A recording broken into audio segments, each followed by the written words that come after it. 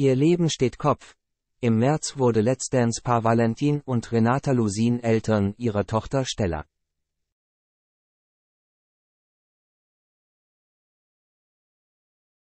Let's Dance.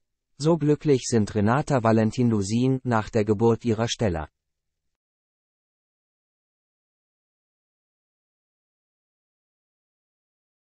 Das Tanzen ist die Berufung der beiden Let's Dance Profitänzer.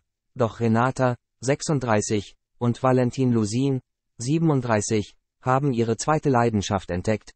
Eltern zu sein macht ihr privates Glück nach mehreren Fehlgeburten einfach perfekt. Im März erblickte ihr Baby das Licht der Welt.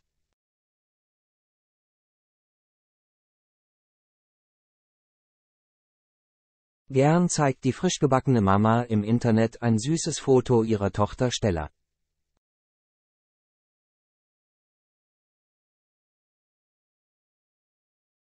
Unser Superstern schreibt Renata dazu.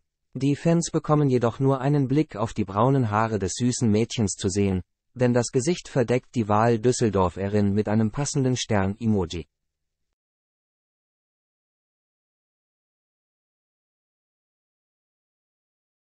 Tochter Stella ist das größte Glück auf Erden.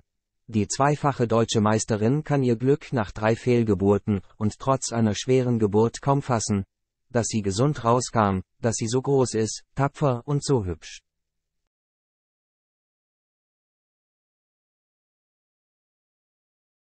Einfach unglaublich. Zwar hält die Kleine die beiden Let's Dance Stars mächtig auf Trab, aber umso mehr genießen die Eltern die gemeinsamen Kuschelstunden.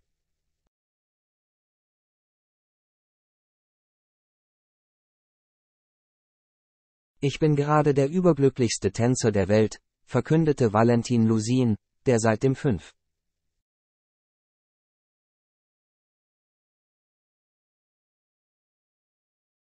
April schon wieder für Let's Dance auf dem Tanzparkett stand, stolz. Gerade erst teilten er und Renata Lusin bei Instagram einen neuen, zuckersüßen Schnappschuss mit Babysteller. Wie beschreibt man das größte Glück auf Erden? Jetzt wissen wir es. Engel sollen sich beschützen und begleiten, schrieb das Paar zu dem Foto, welches sie mit ihrer Tochter in den Armen zeigen.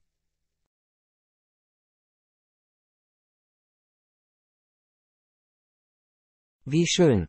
Die Leistungen ihres Mannes und seiner Tanzpartnerin Ann-Kathrin Bendixen, 24, verfolgt die 36-Jährige aber natürlich trotzdem weiterhin, nur eben vom Sofa aus.